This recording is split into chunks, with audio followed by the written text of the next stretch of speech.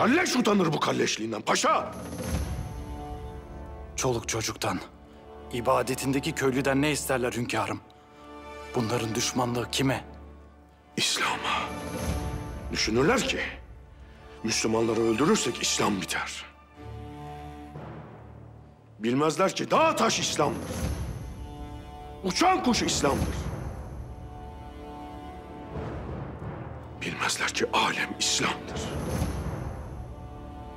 Dönen kainat İslam'dır.